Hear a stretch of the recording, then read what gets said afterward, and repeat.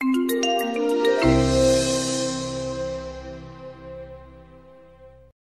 you.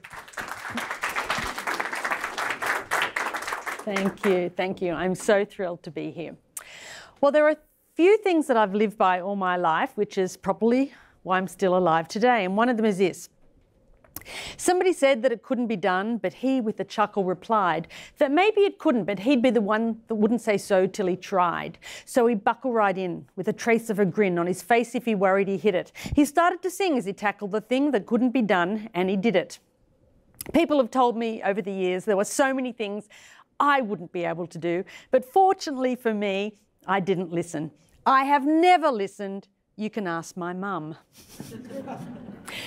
I am defiant, always have been. And you might think of that word in a negative way, right? Defiance. Is that a child screaming on the ground or a fist shaking in the air? But what I'm going to say to you today, that defiance is not just a good thing. Defiance is a great thing. Defiance is where we find our courage, our grit, and our boldness. But how do we connect with that? Would you like to know? Would you like to know?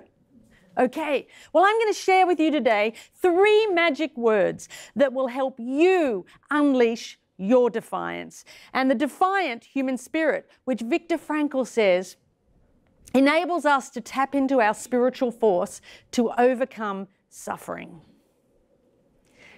How do we find it? Three magic words, and those words are love the hills. What do I mean by that? Love the hills. Is anyone here go, anyone jog? Jog? Walk? Ride a bike? Okay, so you go out for your morning jog, walk, bike ride, and there's a flat course and a hilly course. Which one do you take? The flat did someone say the flat? Everyone says the flats. And you know why? It's in our DNA. In fact, Freud says we are biologically motivated to head towards pleasure and avoid pain. But what if we've got it the wrong way round? What if we're actually meant to take the hills? What if we're meant to take the hard option? What if that is how we find our purpose and our meaning? What if the hills are where we find our defiant human spirit? How different would it be if I told you that you had that and you had everything you need to overcome any challenging life? Wouldn't that be a game changer? Wouldn't that change things? Right? Well, I always trained on the hills. I had a nickname of Janine the Machine. I started my athletic career at the ripe old age of seven with Little Athletics in Australia. But I discovered very early on cross country skiing. And cross country skiers love the hills. I know you're probably thinking Australia, what? Snow in Australia? Yes, absolutely. We actually have ideal conditions for cross country skiing. My goal was not just to represent my country at the Olympics. I really wanted to put Australia on the map as a force to be reckoned with, to show the world that this Aussie could ski, and nothing was going to stop me from achieving that dream. I was invited by the Canadian ski team coach to join up with their team in preparation for the 88 Winter, Olympics in Calgary. Every athlete's dream. I came back and made plans to go and train with the Canadian team in the lead up to the Olympics. Nothing was going to stop me from achieving this dream. Then one warm autumn day, I set out on a training bike ride with my fellow teammates. We were riding from Sydney to the Blue Mountains, which is about a six hour ride. We'd been on our bikes for around five and a half hours when we got to the part of the ride that I loved, and that was the hills, because I loved the hills, right? And I got up off the seat of my bike and started pumping my legs. And as I sucked in the cold mountain air, I could feel it burning my lungs. And I looked up and everything went black. Where was I? What had happened? My body was consumed with pain. I'd been hit by a speeding truck with only 10 minutes to go on the bike ride. I was airlifted by the Westpac Rescue helicopter to a large spinal unit in Sydney. I had extensive and life threatening injuries. I'd broken my neck and my back in six places. I'd broken five ribs on my left side. I'd broken my right arm. I'd broken my right collarbone. I broke bones in my feet. My whole right side was ripped open and filled with gravel. I had head injuries. My head was cut across the front, lifted back, exposing the skull underneath. I had internal injuries and I had massive blood loss. In fact, I lost about five litres of blood, which is all someone my size would actually hold.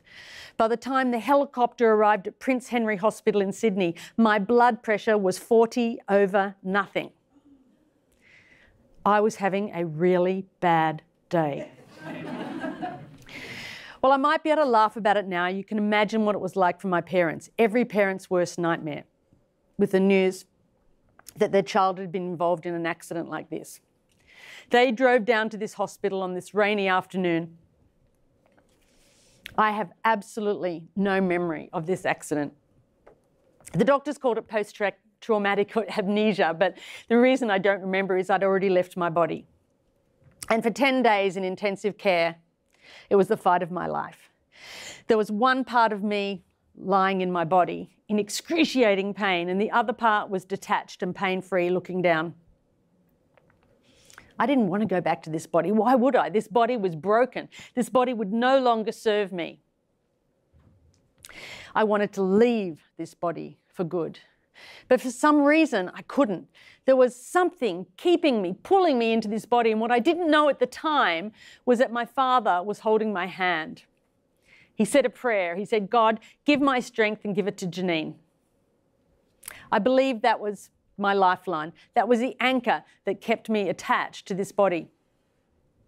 After 10 days, I remember opening my eyes and seeing my father's face looking down at me. I knew there was something I just had to ask. And I looked up into my father's face and I said, Dad, how's my bike?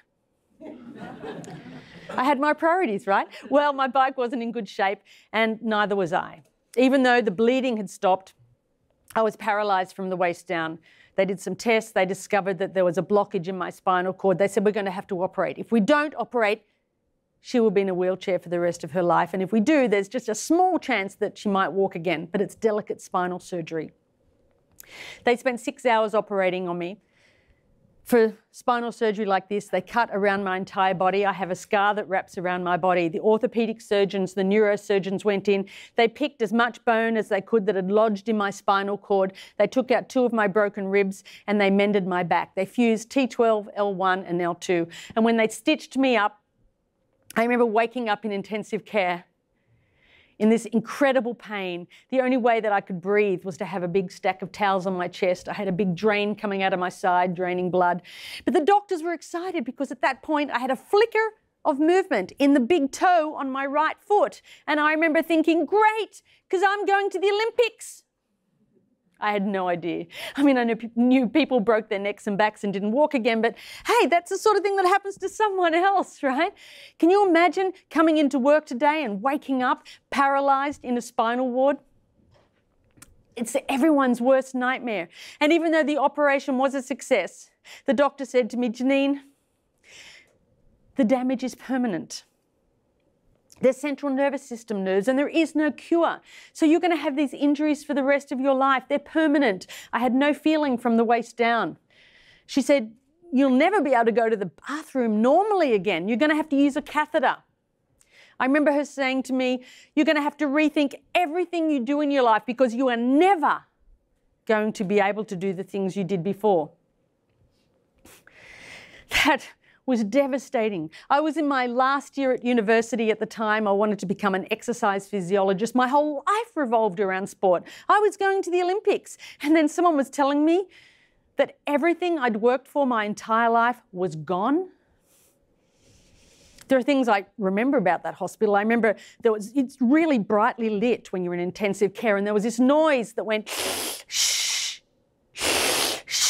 And I called the nurse over and I said, Nurse, what is that noise? She said, Janine, it's the lady opposite. It's her respirator. I said, Well, would you turn it off? I want to get some sleep. they didn't, fortunately. But as difficult as it was, being in that spinal ward was also rich and meaningful and taught me so many lessons about life. It stripped me of my sense of entitlement And entitlement kills joy.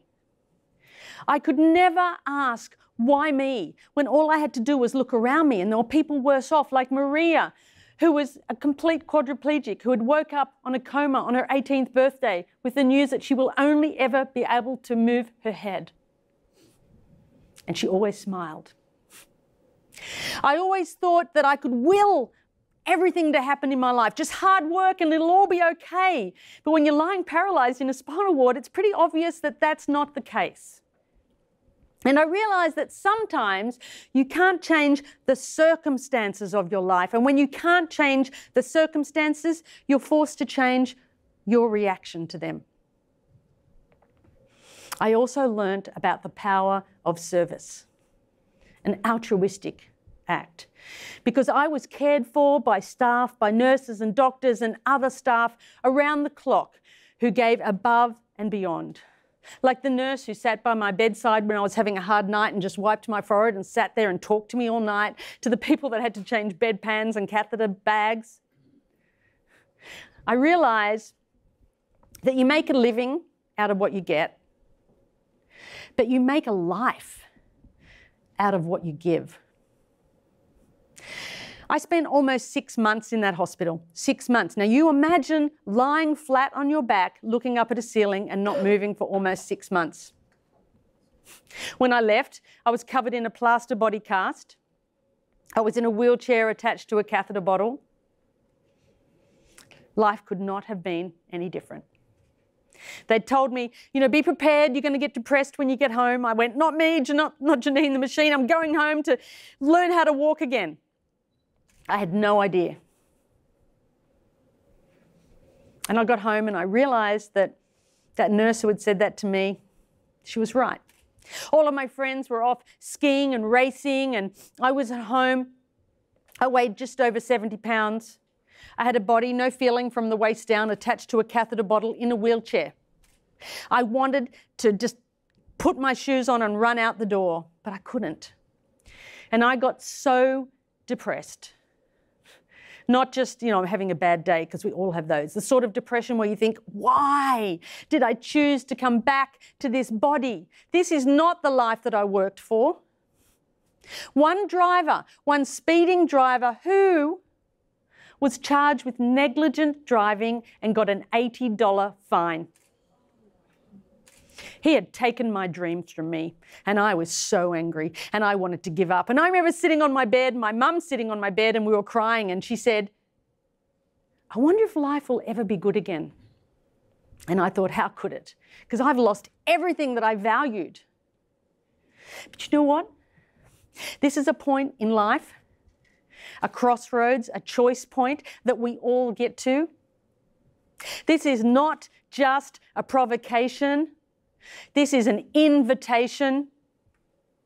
Life is asking you a question Will you stay down or will you get up? Will you continue to say no or will you say yes to life? And this decision is not optional, only the timing. Because when you say yes to life, you say yes to all of life. You cannot cherry pick all of the experiences of life. And I thought, I'm going to say yes. And you know what happens when you say yes? Everything changes. Everything. I was outside in my wheelchair in my plaster cast, and an aeroplane flew over. And I remember I looked up and I thought to myself, that's it. If I can't walk, then maybe I can fly. And I said, Mom, I'm going to learn how to fly. And she said, Oh, that's nice, dear. Would you like another cup of tea? it was crazy. I had never wanted to fly in my life, but now it was exactly what I needed to do. But how, how do I do this? So I, I said, Pass me the yellow pages. Okay, do you, you probably don't remember. Do you remember when you had the book with the phone numbers? Come on, does anyone remember that? Right, okay. Well, I said, pass me the yellow pages. Now to be like, Siri, give me the, you know. So, and I looked up F for flying schools. And I rang up the first one near us and I said, Hi, I want to learn about flying lessons. And they started to tell me about this thing called a TIFF, which stands for a trial instructional flight. I said, Great. They said, Do you want to make a booking to come out? I said, Sure. I said, But I, I have to get a friend to drive me out because I can't drive. I sort of can't walk either. But is that a problem? And there's this pregnant pause on the end of a phone, like, oh, we've got a nutcase here. And I knew what it was that I had to do. So of course, I, I, I, couldn't walk. Mum went out. I had a plaster. My whole torso was in plaster. Mum went out and bought me a pair of baggy overalls to put over this plaster cast. I rang a friend of mine, Chris, who lived in a different state, and said, You know, there's a seat in the back. He'd always wanted to fly. I said, If you come out, you can come out flying too. And weeks and weeks later, me in my plaster body cast and my baggy overalls, and Chris and Mum drove me out to our local airport. They got me out of the car and holding, um, you know, 70 pounds. There was nothing of me, right? Holding me under the arms, they sort of walked me into the flying school. And I can tell you, I did not look like the ideal candidate to get a pilot's license. and they're like, Hi, I'm like, Hi, I'm here for my flying lesson. And they go, Okay, just wait a second. And they go out the back and they're like, who's going to take her? You, you take her. No, you take her. Okay, because this guy comes out and he goes, I'm Andrew and I'm going to take you flying. I go, great. So they carry me down to the tarmac and there was this red, white, and blue light aeroplane. Now, I know some people know what this is like because I know we've got a couple of pilots in this room. But to get into a light aircraft, you've got to be really agile. You actually have to step up onto a step. You have to climb onto the wing. You probably fly, do you? Because I can see from you. Yeah, I know that. And you've got to get into the cockpit, right? I'm being held up in a plaster body cast, right? And they're like, oh, so they one of them has to sort of pull me up onto the wing. And then they pushed me and they somehow got me into the cockpit.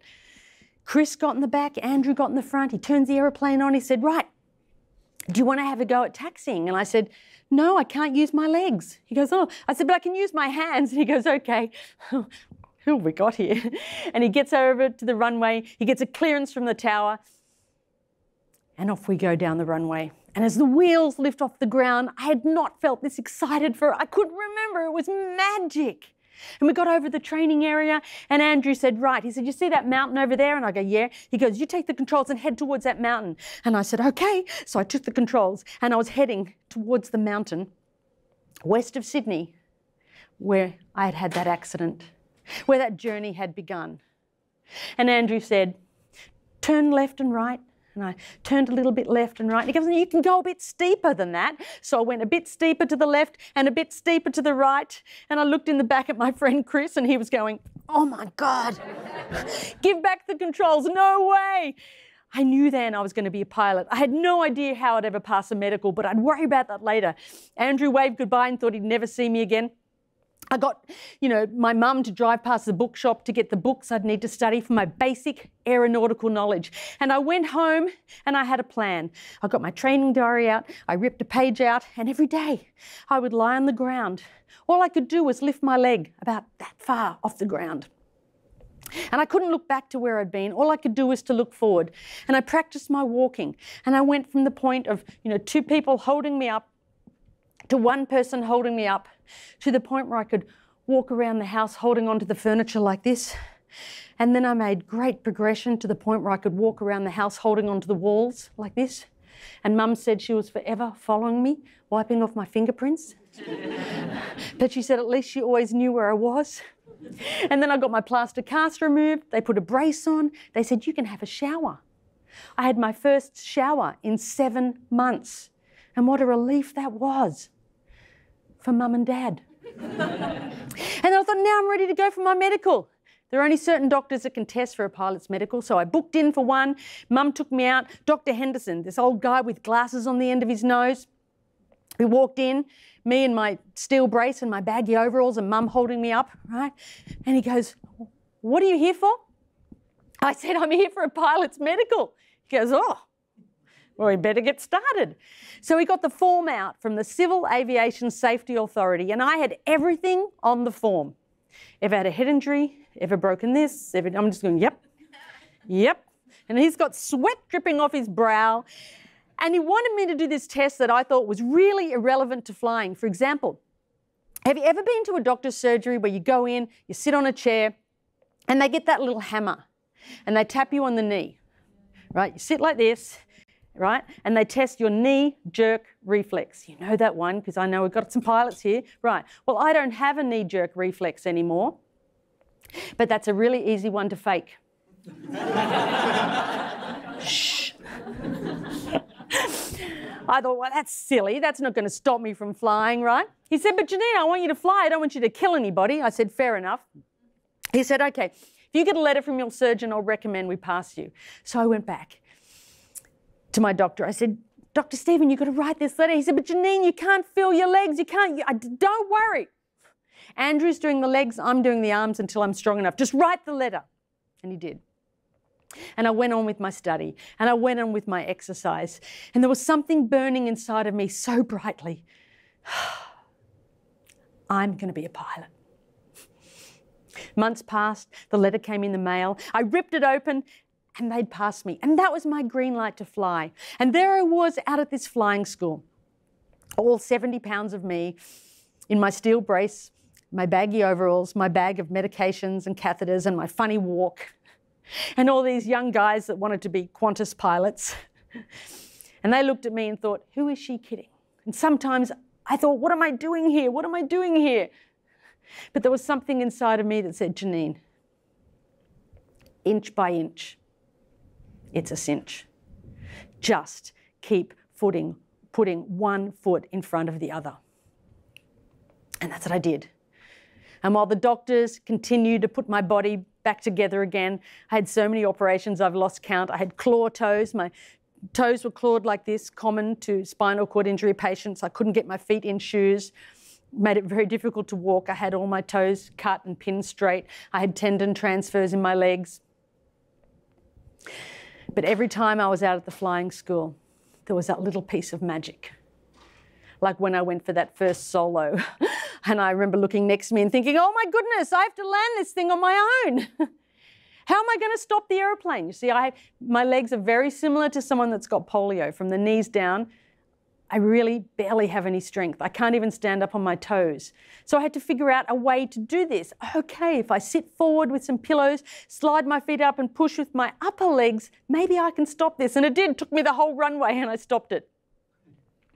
And then I went out in the training area for the first time. And then I got this magical piece of paper, 407751, which was my private pilot's license. And I was so proud because I knew how close I'd been to giving up. And mum and dad, they were really proud too. But they were my first passengers. it scared them to death, but they couldn't say no. and then I went on and I learned to navigate and I flew my little aeroplane around Australia and got what's called my unrestricted license. And then I thought, well, the next step was a commercial pilot's license. And I can't be a commercial pilot. I am actually a walking paraplegic. Who would give me a job as a commercial pilot? I mean, imagine you get together with some friends and you charter an aeroplane to go away for the weekend, and then the pilot comes down. Oh, what happened to you? Oh, don't worry about that. you know, um, I don't have any feeling from the waist down. You know, I got run over by a truck, you know, but lightning doesn't strike twice. Jump on in. right? Would you get in? Probably not. But the guy at the flying school said if you get your commercial pilot's license and your instructor rating, I'll give you a job. Oh my gosh. So I had to go back and have another medical, like a higher level medical. So I went back to that same doctor. Because when you're on a good thing, right, you stick to it, right? And I got cleared for my commercial pilot's license. I went on, I got my night rating. I got my commercial pilot's license. I got my instructor rating. And then I found myself back at that same school where I'd gone for that very first TIFF, teaching other people how to fly, in just over one year after I'd left the spinal ward. And I couldn't believe it. If someone had said to me, You're going to have to live your life without sport, I would have thought, No way, no way in the world. But I loved this. This was the most incredible experience. I loved taking people up and looking at their face for the first time and sharing this joy of flight with them. But then just near this flying school were these little black aeroplanes that went upside down, and I thought, oh, I'd love to do that. and mum said, oh. And I, then I went on and I learned to fly upside down, and then I became an aerobatics flying instructor, teaching people how to fly upside down. And mum and dad? Never been up. the doctor said I wouldn't live. The doctor said I wouldn't walk. The doctor said, Fly? She can't fly. But now I knew for certain that my body was limited, but it was my spirit that was unstoppable. The doctor said I would never have children. They got that wrong too. I got married and I'm the mother of three beautiful children, which are the joy of my life. And oh, I should mention this, I sort of feel like I'm part of the family because my daughter Annabelle worked at Google in Sydney. So does that mean I'm part of the family? Yeah, yeah, I can be like a Googler by, you know, whatever, relation. yeah. So, you know, people ask me all the time about flying. Why did you choose flying? And I have to be honest and say, you know what? I actually think that flying chose me. I could not think of a better way, a better metaphor for freedom than the magic of flight. Right? In fact, we have this formula in flying that goes attitude plus power equals performance. Now, this formula is based on physics and it flies everything from a 747 to a glider. It doesn't fail.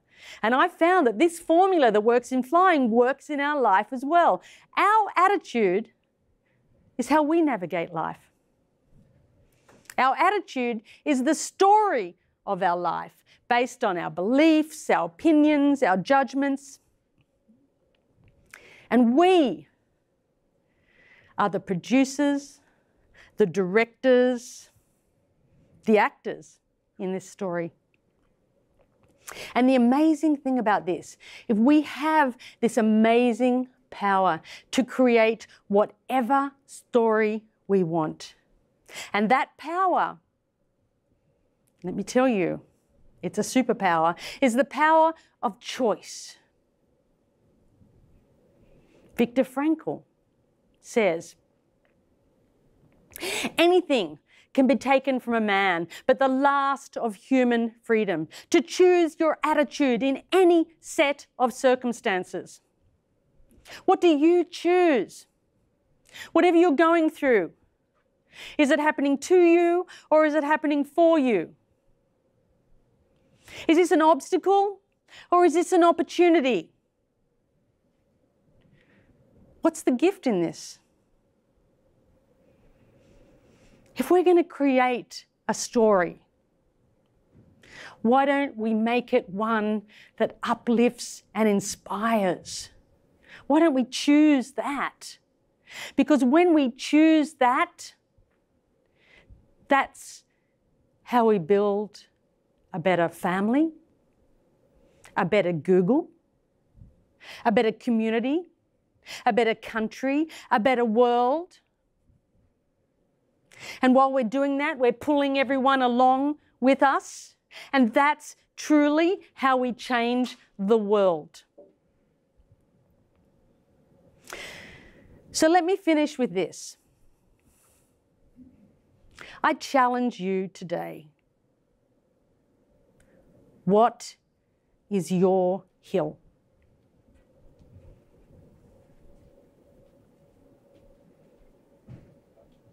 Is it personal? Is it professional? Is it financial? Is it in relationships? Is it spiritual? What is it? And now ask yourself what is one thing, no matter how small or simple, that I can do that will start me on the journey of climbing that hill. And whatever it is, go out and do it. And then tomorrow, wake up and ask yourself the same question What is one thing, no matter how small or simple? And then do that thing. And then do that every single day. And then before you know it, You're going to look over your shoulder and you're going to say, oh, I climbed that hill. And you might just find that you have done something that you once thought was out of reach, or maybe not even possible. And that, my friends, is your defiant human spirit. And while you're out there doing that, you are bound to come across someone who is going to say to you, You're never going to be able to do that. Give up now, believe me. I know. And when someone says that to me, I remember this. There are thousands to tell you it cannot be done. There are thousands to prophesy failure. There are thousands to point out to you one by one the dangers that wait to assail you. But just buckle in with a bit of a grin. Just take off your coat and go to it. Just start to sing as you tackle the thing that cannot be done, and you'll do it. Thank you.